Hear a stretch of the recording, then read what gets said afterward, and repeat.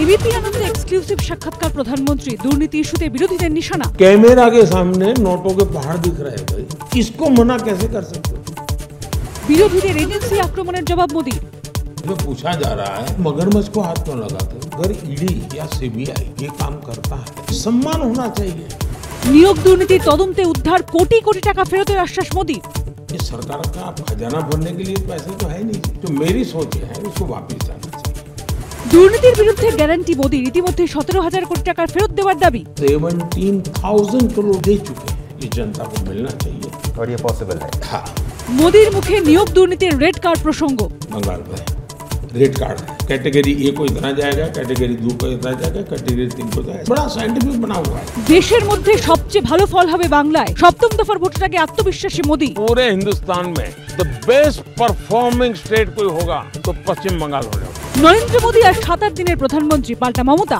এবার আর আসছে না। ন্যাচারালি প্রধানমন্ত্রী কথাটা হয়তো সাত আট দিন বলতে পারবে তারপরে এক্স প্রাইম মিনিস্টার বলতে হবে চার জুন ধসে পড়বে তৃণমূল আর ইন্ডিয়া জোটের কেল্লা হুঙ্কার মোদীর। পাল্টা অভিষেক। ছ দফায় ভোট হয়ে গেছে। তেত্রিশটার মধ্যে তৃণমূল তেইশ বার করে নিয়েছে। বাতিল প্রায় পাঁচ লক্ষ ওবিসি সার্টিফিকেট ফের মমতার নিশানায় বিচার ব্যবস্থার একাংশ। আমি সেই রায় মানি না। বিচারক বলা যাবে না বিচারকের রায় বলা যাবে। আই এম অলসো লয়ার হাইকোর্টের রায় বাতিল প্রায় পাঁচ লক্ষ ওবিসি সার্টিফিকেট ফের মমতার নিশানায় বিচার ব্যবস্থার একাংশ অনুচিত বললেন মোদী हमारी न्याय व्यवस्था पर सवाल उठाए जा रहे हैं লক্ষ লক্ষ ওবিসির অধিকার লুট তৃণমূলে রায় ঘোষণার পর বিচার ব্যবস্থাকেও আক্রমণ এবার বিচারপতিদের পিছনে গুন্ডাদের লেলিয়ে দেবেন নাকি সরাসরি মমতাকে নিশানা মোদীর প্রায় পাঁচ লক্ষ ওবিসি সার্টিফিকেট বাতিল নিয়ে মোদীর নিশানা পাল্টা তৃণমূল রিজার্ভেশন স্ট্যাটাস হাইকোর্টের মাধ্যমে বাতিল করিয়েছে এই জনবিরোধী বিজেপি সরকার প্রথমে কংগ্রেস সিপিএম। এখন বাংলাকে লুট করছে তৃণমূল। সিপিএম কে ভোট দেওয়া মানে তৃণমূলকে দেওয়া। বাম কংগ্রেস তৃণমূলকে একযোগে আক্রমণ নরেন্দ্র মোদীর তৃণমূল, বিজেপি দুই দলই একই। লুট তো রাত চালাচ্ছে। মোদীকে পাল্টা সেলিম। দেশবাসীর মোহভঙ্গ হতে দেখে বাম কংগ্রেসকে নিশানা। আক্রমণে অধীর।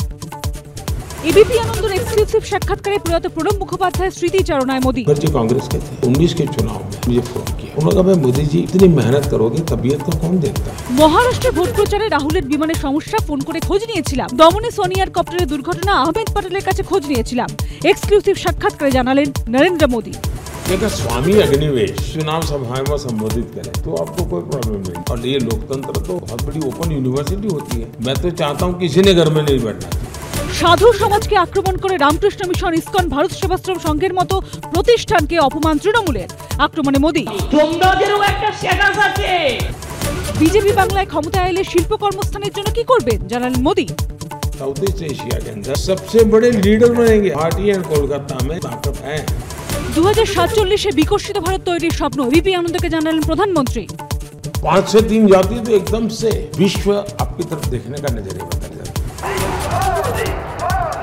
শেষ দফার ভোটের আগে কলকাতায় মোদীর রোষ্য বাগবাজারে মায়ের বাড়িতে গিয়ে করলেন পুজো।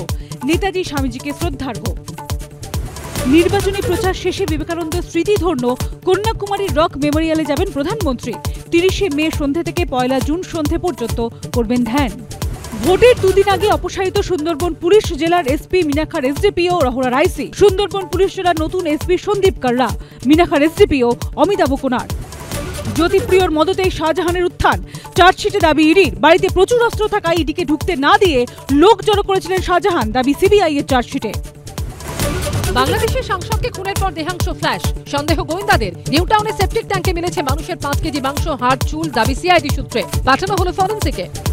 বিমান রেশ কাটতে না কাটতেই মর্মান্তিক দুর্ঘটনা। তারাতলার ইন্ডিয়ান মেরিটাইম বিশ্ববিদ্যালয়ে জমা জলে বিদ্যুৎস্পৃষ্ট হয়ে মৃত্যু অস্থায়ী সাফাই কর্মী ও সুপারভাইজারের। লোকসভা ভোটের আগে কি ভাবছে যাদবপুর দক্ষিণ কলকাতা? সাধারণ মানুষ থেকে ভোট প্রার্থীরা কি বলছেন? ঘুরে দেখলেন ঋতব্রত মুখোপাধ্যায়, তারকার চোখে তারকা কেন্দ্র বিকেল সাড়ে পাঁচটা। শুভেন্দু নাকি সিবিআই, ইডি, আইটি চালান? হাইকোর্টের রক্ষা কবচের ভরসায় রাজনীতি করেন বিরোধী দলনেতা? সোজা সাপটা প্রশ্ন, বিস্ফোরক উত্তর। কার দখলে দিল্লি, রাত আটটা।